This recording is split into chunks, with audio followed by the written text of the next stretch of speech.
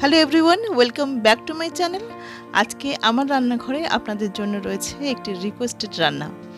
আপনারা চট্টগ্রামের ঐতিহ্যশালী একটি রান্না, মেজবানি মাংসের কথা হয়তো অনেকেই শুনেছেন, অনেকেই হয়তো সেই স্বাদটার সঙ্গে বেশ পরিচিত। তো সাধারণত রেড মিট দিয়ে এই রান্নাটা করা হয়ে থাকে, মেজবানি মাংস। কিন্তু আমার কিছু বন্ধু আছে যারা রেড মিট খেতে অতটা অভ্যস্ত না, যারা রেড মিট খায় না। তারা আমাকে বিশেষভাবে রিকোয়েস্ট করেছিল যদি চিকেনের উপর এই রেসিপিটা করে দেখানো যায়। তো তাদের রিকোয়েস্টের কথা মাথায় রেখে আজকে আমি চট্টগ্রামের সেই মেজবানি রান্নাটাকে, মেজবানি মাংসটাকে আমি চিকেন দিয়ে ট্রাই করার চেষ্টা করেছি, রান্না করেছি মেজবানি চিকেন তাহলে চলুন দেখে আসি শ্রাবন্তীর কিচেনে মেজবানি চিকেন এর জন্য প্রথমে একটা মশলা আমি বানিয়ে নিচ্ছি। এখানে রয়েছে এক চামচ মৌরি, রয়েছে দুই চামচ সাদা জিরে হাফ চামচ রাঁধুনি, কয়েক টুকরো দারচিনি, একটা বড় এলাচ, চার পাঁচটা ছোট এলাচ, চার পাঁচটা লবঙ্গ, একটা জায়ফলের ওয়ান ফোর্থ অংশ রয়েছে রয়েছে কয়েক টুকরো জৈত্রী এক চামচ মেথি, রয়েছে দুই চামচ সাদা সর্ষে, চার পাঁচটা লাল শুকনো লঙ্কা। এই সব কটা মশলাকে আমি একসাথে একটু শুকনো খোলায় ভেজে নেব, ড্রাই রোস্ট করে নেব। তারপরে এগুলোকে আমি মিক্সিতে ব্লেন্ড করে একটা গুঁড়ো বানিয়ে নেব। দেখুন, এগুলোকে আমি ড্রাই রোস্ট করে নিয়েছি। এরপরে এটাকে আমি মিক্সিতে ব্লেন্ড করে নেব। এই মশলাটা মেজবানি মশলা, এটা মেজবানি মাং চিকেনটাকে পারফেক্ট হতে গেলে এই মশলাটাকেও কিন্তু পারফেক্ট হওয়া প্রয়োজন। আমি যে পরিমাণ মশলা এখানে বানিয়েছি, সেটা দুই কিলো চিকেনের জন্য যথেষ্ট। কিন্তু আমি এখানে চিকেন নেব পাঁচশো গ্রাম। এখানে ফোর টেবিল স্পুন মতো মশলাটা হয়েছে। তো এখান থেকে আমি এক টেবিল স্পুন ব্যবহার করব আমি চিকেনটা রান্না করার জন্য। এবার যে পাত্রে আমি মাংসটা রান্না করব, সেই পাত্রে আমি চিকেনটা নিয়ে নিচ্ছি এখানে। এখানে হাফ কেজির মতো চিকেন রয়েছে। মিডিয়াম কারি কাট করে কেটে নেওয়া আছে উইথ বোন এর মধ্যে একে একে সমস্ত মশলাগুলোকে আমি মেশাতে থাকব। প্রথমেই দিয়ে দিচ্ছি দুটি মিডিয়াম সাইজের পেঁয়াজ এখানে রয়েছে। স্লাইস করে কেটে নেওয়া আছে পেঁয়াজগুলো। দিয়ে দিচ্ছি এক টেবিল স্পুন রসুন বাটা, এক টেবিল স্পুন আদা বাটা, রয়েছে এক চামচ লঙ্কার গুঁড়ো,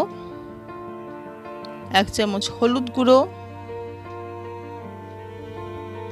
এক চামচ ধনে গুঁড়ো, রয়েছে এক চামচ গোলমরিচের গুঁড়ো রয়েছে এক চামচ গরম মশলা। আর দেব স্বাদ মতো নুন। এই সমস্ত মশলাগুলোকে দিয়ে মাংসটাকে খুব ভালো করে মাখিয়ে নিতে হবে। যত ভালো মাখানো হবে এখানে, রান্নাটা কিন্তু ততটাই ভালো হবে।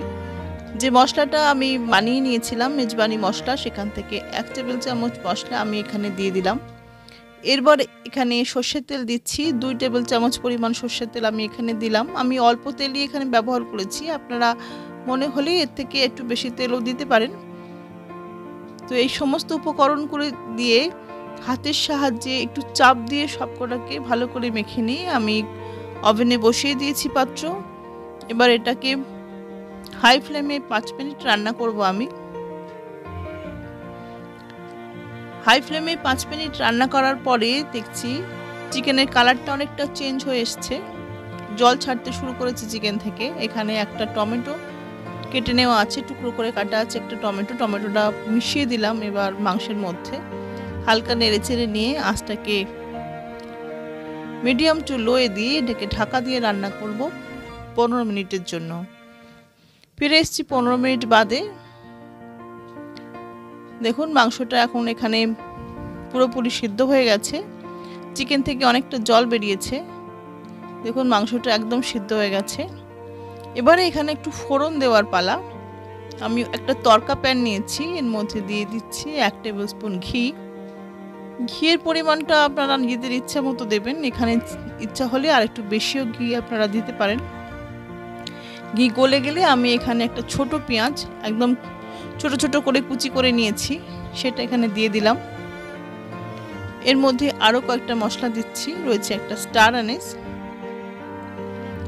দু তিনটে ছোট এলাচ, তিন চারটে লবঙ্গ, এক টুকরো দারচিনি আর পাঁচ ছটা রসুনের কলি, এটাকে ছোট ছোট করে কুচিয়ে নেওয়া আছে।